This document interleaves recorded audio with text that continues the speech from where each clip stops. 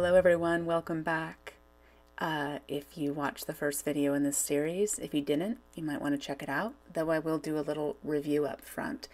Alright, so picking up where we left off in the last video, let's look at Saturn, the tempo setter for evolution, and consider his current sidereal position in the cosmos for how it might be guiding us through the evolutionary level of the game we're playing at right now in these inarguably transformative times. Let's see how Saturn might be helping us better define this mother thread of our lineage, a concept that I introduced in the last video. The mother thread being the primary idea born of and with the current race of man, to which we all belong. A through line which emerges from the struggle to reconcile destiny and free will via the rational mind the rational mind being the thing that sets us apart from the race preceding ours, a race far more in touch with their intuitive nature, never separated from a perfect knowing of their place in the cosmic order until their slow descent. We'll talk about the cyclic nature of time in more detail in another video because it really is crucial to understanding these concepts the rational mind then being the thing that allows us to choose in or out of harmony with the cosmic order. If the rational mind is the thing that allows us to choose out of harmony with the natural order because we don't see it clearly anymore, we don't have that third eye as readily accessible anyway then the rational mind is the thing that can block our understanding of our own divinity until we perfect it. Perfect our intellect, that is, our rational mind, our higher intellect. And this may seem counterintuitive that we should focus on the cultivation of the very thing that seems to block us from experiencing unity the higher intellect is closer to the idea of wisdom, really. It's the thing that allows us to know ourselves, to realize ourselves fully as an individual entity, so well that we discover the cosmic order through ourself as a unique expression of it, the cosmic order. We discussed how our thoughts, words, and deeds are inherently creative, and so continually feed during our time on earth input into the singular cause, the Godhead function from which our individual destinies or designs are derived. Predestination isn't a thing set in stone, but a living, evolving pattern.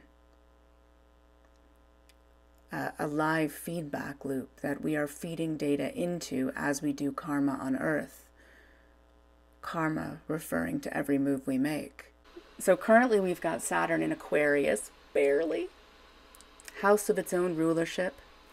It's actually retrograding as we speak, basically, and will find its way back into Capricorn very soon, which is the other sign it rules, before returning to Aquarius next spring, I believe. But I want to focus on its position in Aquarius first in this video, and then I'll zoom in on this the specific star energy that will be fueling Saturn this whole time. A star that actually straddles the cusp of Capricorn and Aquarius. So this information will apply when the retrograde back into Capricorn happens as well. In Aquarius, Saturn is at full strength in the sign of the collective. Now, Saturn is always working for divine justice. It's always geared toward human evolution, which is why Saturn is the ruler of this, the sign of the collective, Aquarius. And the old man is as happy as he'll ever be in his own crib because he's in full power. And because he's in full power, his lessons will be especially potent, yet graceful and merciful if we can see them that way. Aquarius is a very dynamic and pretty misunderstood sign, I think. There's really nothing airy fairy about it except that it's an air sign. And I dare say it's rather anti hippie. But I'll explain what I mean by that later. Aquarius is the natural 11th house of all those good things in life, like gains, reward, network circles, popularity. But Aquarius is also a densely karmic point in the zodiac a place where a lot of karmic tests are doled out. Saturn asks us, what do we do with those gains and network circles, that wealth and influence that were given through the 11th house? Are we functioning for the good of the people when we're given it all? Because doing what's good for the people, the masses, is what Aquarius is all about, but how to do what is good for the people isn't as obvious an answer as one may think. And this is the revelation I believe Saturn is gifting us right now. Pleasing the energy of Saturn in Aquarius requires more than a humanitarian streak and an able mind. It requires the highest level of discernment. We can be kind, well educated, smart as whips, cultured, well traveled, open minded, and also ignorant. And we can be ignorant of our ignorance and self righteous in our ignorance.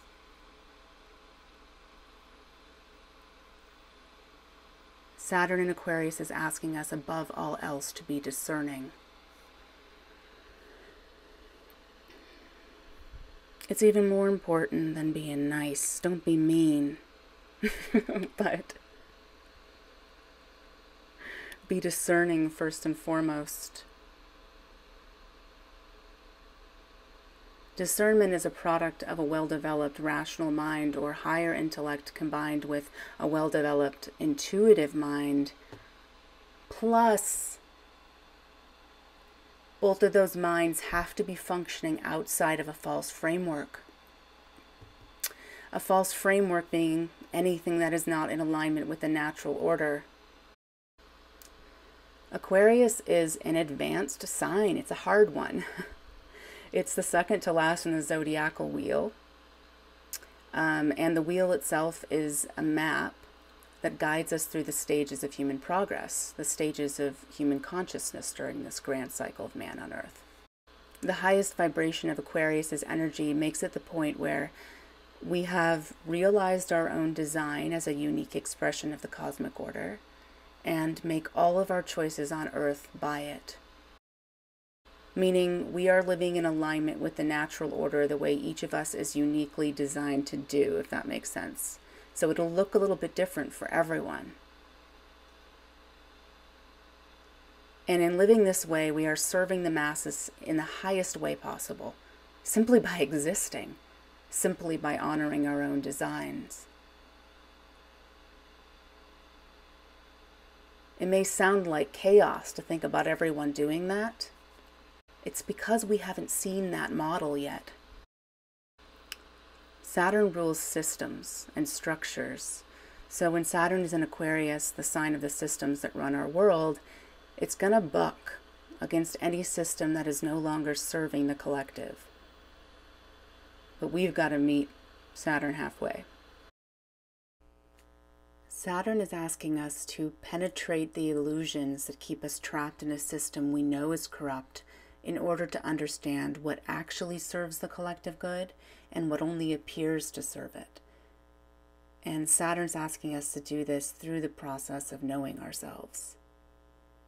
Saturn's goal is to restore a worldwide structure in alignment with the natural order, which was once in place long, long ago. However, at this point in evolution, that homogeneous structuralization, which is part of our mother thread, that homogeneous structuralization around a divine pattern will look different. It's supposed to look different now. Now that structure must res- uh, reflect the diversity that is inevitable when we're each fully realizing our own designs, which is only possible through the use of the rational mind. And it is certainly not what we call socialism built around the current centralized power structure. The thing is, we don't need to worry about masterminding this new system, nor do we have to risk life and limb to try and dismantle the rotten one. We need only to focus on knowing ourselves better and evolve accordingly, to live accordingly. And that and everything else will take care of itself. Aquarius is a sign where we can easily be led astray by the villains of this game. Who are they? They're anything that distracts us from knowing ourselves better and integrating what we learn. Less evolved Aquarius energy can be hijacked to exploit an individual's care for this world, rerouting their humanitarian and environmental ideals, for instance, onto a path imitating virtue. If you really delve into history, you'll see that this has been an issue since the dawn of the rational mind. Hijacked minds. Good people trying to do good, but following the wrong lead. It's the biggest thing standing in our way now, in my humble opinion. Aquarius is particularly prone to illusion because it's co ruled by Rahu, the north node of the moon who can be both susceptible to manipulation or manipulative. Rahu's lower nature can be understood in its um, in its correspondence to the caudate nucleus head in the basal ganglia, which, among other faculties, controls habits, focusing our attention, uh, focusing our eyes, reward function the head of the dragon. And the caudate nucleus itself looks like a fish or dragon.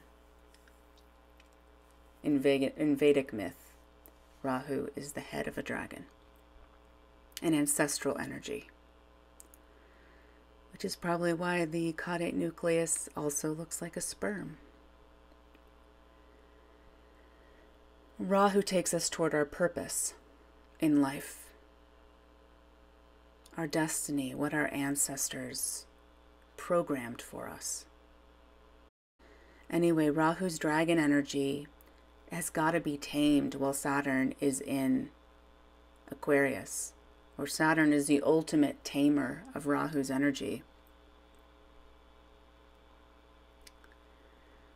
This taming includes disciplined powers of discernment because if properly mesmerized and incentivized, Rahu's energy can easily be misdirected.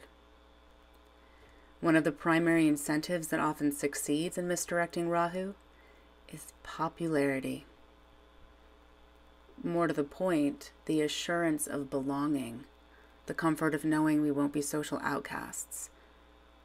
Being outcast is a fear that cannot be underestimated in humans, and it gets us in a lot of trouble especially here in Aquarius. We've been taught that if you blow the whistle on the real shit in this world, you get exiled, or worse. And so it keeps the majority of humans staying in the safe zone, pointing fingers at anyone who would question the official narratives, crying witch, or in this era, conspiracy theorist. Are there ridiculous conspiracy theories out there? Sure are and those are traps laid to steer the curious but less discerning off course. Laid by who, you say? Laid by us, I say. In the quantum sense, we built all the traps we fall into in this world. Responsibility is power. When we take responsibility for all this, we empower ourselves. We designed these traps so that we could evolve through the process of getting wise to them. So we don't even have to hate on the worst evil in the world. We thank it for its lessons and move on.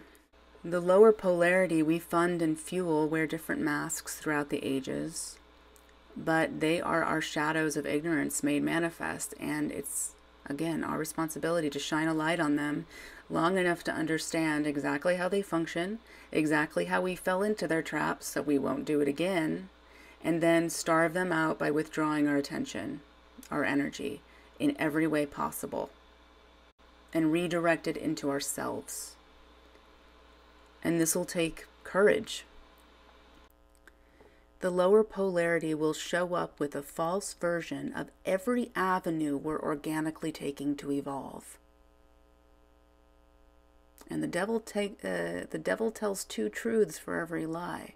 So those false avenues feel very much like real ones.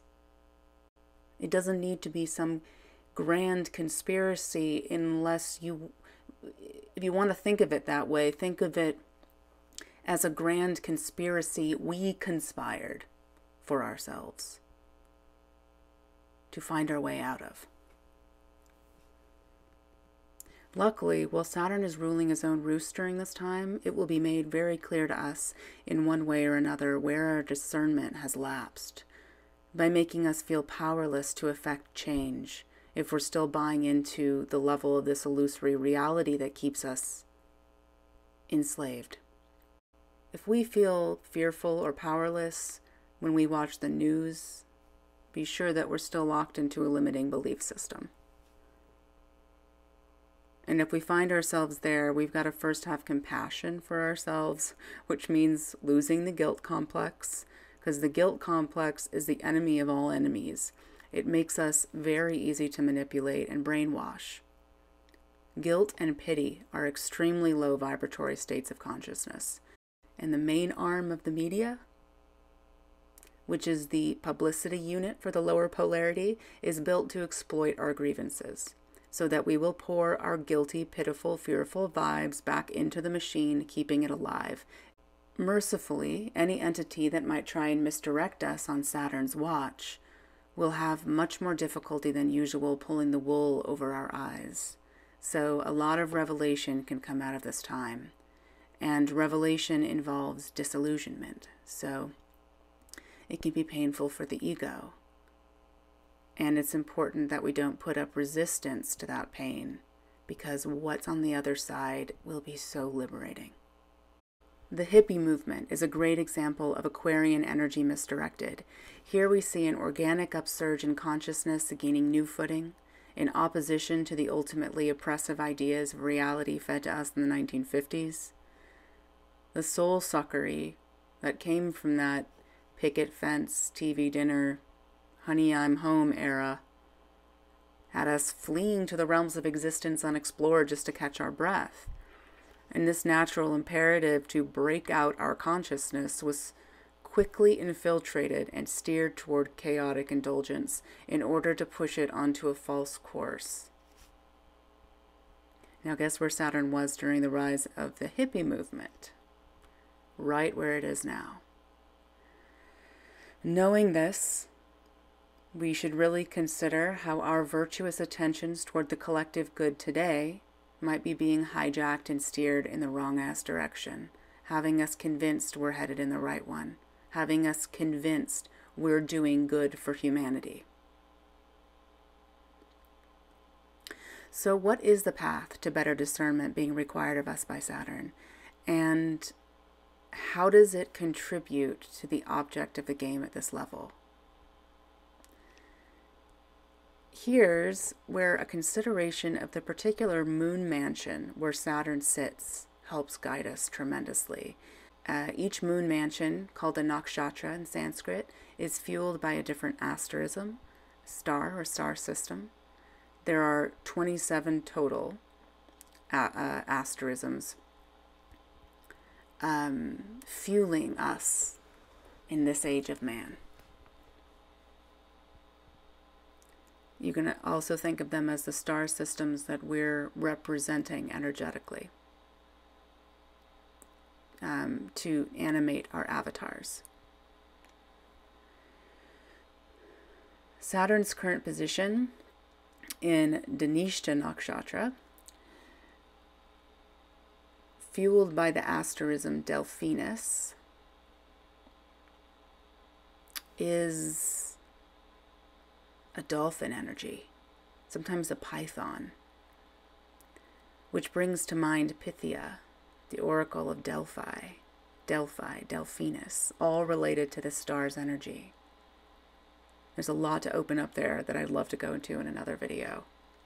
Dhanishta's Shakti, the energetic gift it gives, is to empower the individual toward the establishment of the collective.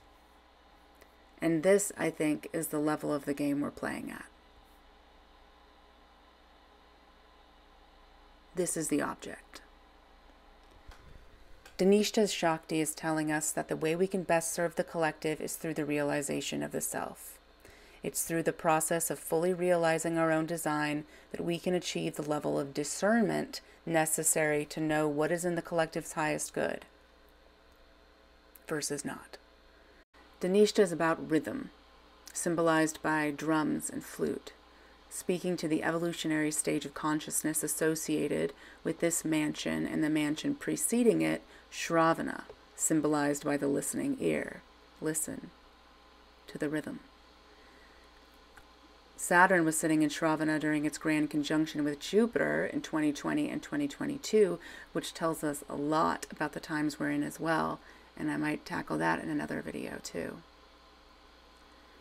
So, the highest aim of this pair of stars, Shravana and Dhanishta, is to get us in touch with our own rhythms, and therefore the rhythms of the natural order. Most of our programs serve the off kilter rhythms of society because most of our parents raised us that way so that we wouldn't be outcasts. Identity politics is one of those false paths, false avenues that are imitating our evolutionary trajectory. In this case, it's imitating the path of individuation. Our egos, an aspect of our rational mind, are built to uphold our early programming, as much of a, many of us know, and, and so it takes a lot of effort to convince them to even hear a perspective that doesn't fit the worldview of their program, let alone override that pattern. This is why it's so often through traumatic experience that people transform their worldview. It takes a bomb dropping in our lap to jar our ego out of its role as gatekeeper of the old program long enough to let the light in. And back to that basal ganglia and the caudate nucleus head, which corresponds to North Node Rahu's energy. Depending on the conditions of the North Node in your birth chart, you will be more or less able to reprogram yourself. We're all capable, but it'll be more or less difficult, I should say. If your north node is strong, you'll find it easy to shift paradigms. And this has its downside if you're not being discerning, of course. If your north node is in an uncomfortable position in the zodiac, it will resist input that might lead it to a new worldview. So it's important to get right with your Rahu in general, but especially while Saturn is in Aquarius. So Dhanishta is the more active in this rhythmic pair of stars, asking us not only to hear our rhythm, but to dance that rhythm into the world so that others can benefit from it too. Dhanishta is also associated for da- uh, with dance for this reason. Dhanishta is a Mars ruled moon mansion. All the moon mansions are ruled by a different planet. Uh, is the exaltation point of Mars energy, the highest vibratory um, stage of the development of Mars's energy in the zodiac. And this is within a Saturn ruled sign. So the nature of this asterism is a revolutionary, geared toward divine justice and structure. A structure built on divine justice. Mars is the soldier, right? making Dhanishta the ultimate honorable warrior. It's the place where dance becomes a martial art. It's battle formation.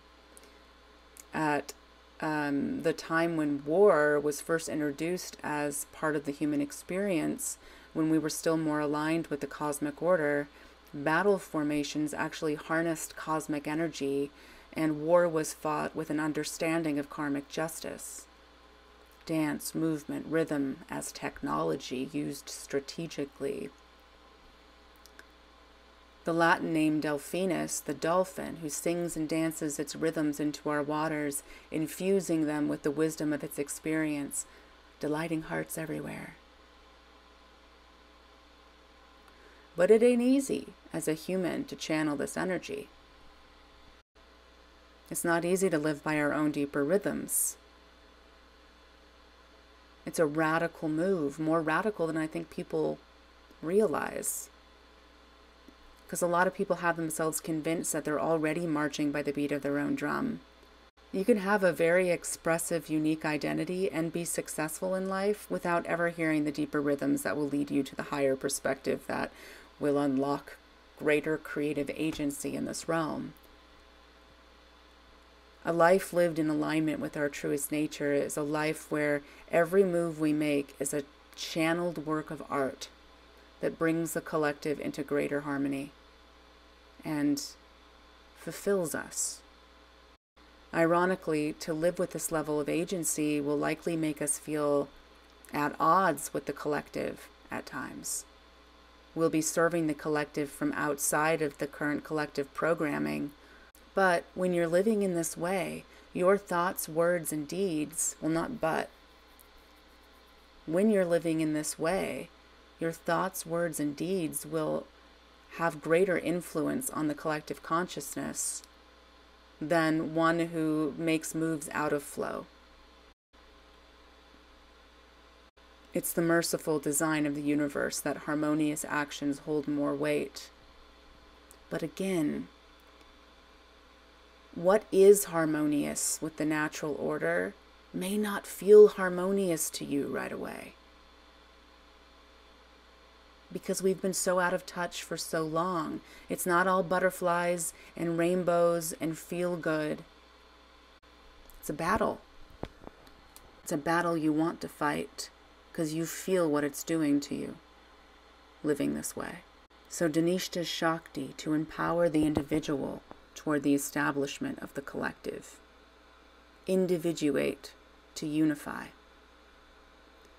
At its highest vibration, Dhanishta dares to be an outlier by honoring its own articulation of the cosmic voice because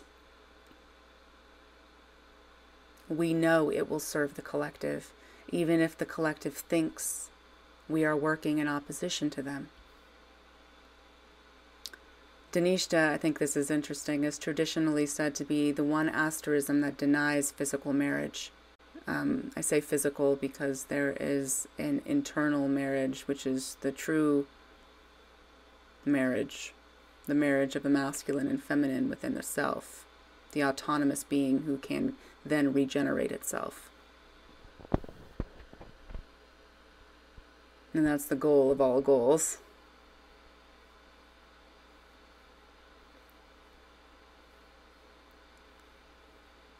So Dhanishta epitomizes autonomy, married to their duty or dharma.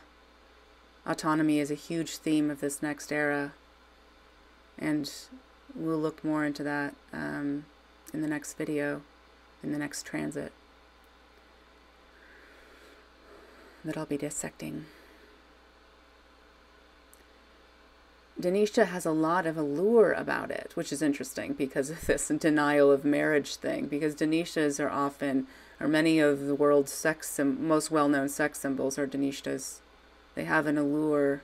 They are the the most heard of, the desirable object, the star of wealth and fame. And Dhanishta gives this allure because it has the potential to know what to do with it. They make the sexiest star the one that's the least interested. I'm getting involved. one on one anyway. They have the the big picture in mind. But a less evolved Dhanishta energy can be easily possessed by anything that might wish to reroute its dutiful nature. And so it does need to cultivate those powers of discernment available to it. While Saturn is in Dhanishta, it's asking us to really boldly listen to our little voice, those deeper rhythms, and start amplifying them over time until they help us see our world with new eyes, hear it with new ears. And we can't expect that voice to feel familiar at first. In fact, it will likely push us out of our comfort zone to heed it at all. That voice may be opposing our long held belief systems, ones we've identified with, fought for, ones we've taken for granted, ones we've taken irreversible action toward. It might trigger people who love us when we're stepping into and living out our own signature. If you already consider yourself an uber individual, the game isn't over. In fact, much of individualism is false individuation. We have to ask ourselves hard questions what aspects of our identity, even those we are proud of and embrace and had to fight for, are built on trauma, resistance, fear, expectations, given circumstance, politics. So, again, a lot of compassion for the self is necessary during this process of disillusionment that comes from fully honoring the path of self initiation. Once we've cleared resistance to our deeper rhythms, we'll know it, I think, by the tingles of conviction that would have us willing to risk being exiled in order to dance that rhythm into the world.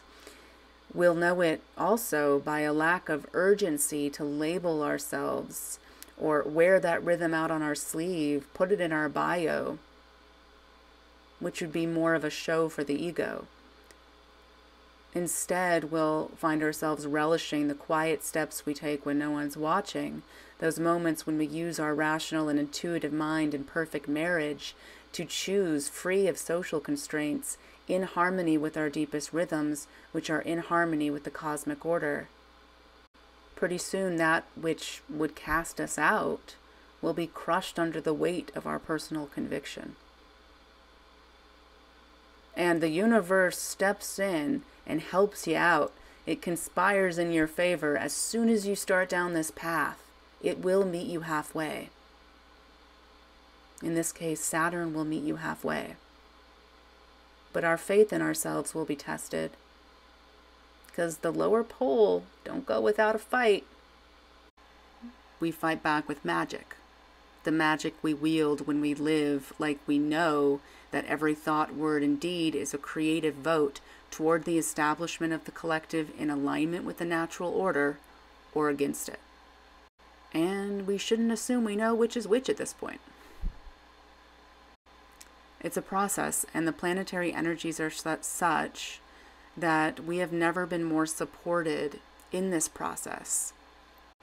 And luckily, mere awareness of our objective is a huge step in the right direction.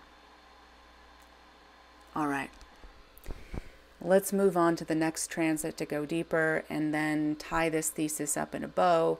Um, well, not really.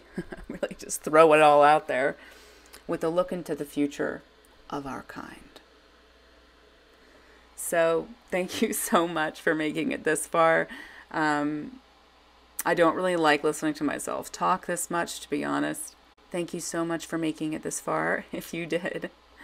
Um, I know it's a lot of intense talk, but I really needed to get it out of me. And I do so with a humble sense of duty as I do my best to walk the, the path I've been describing.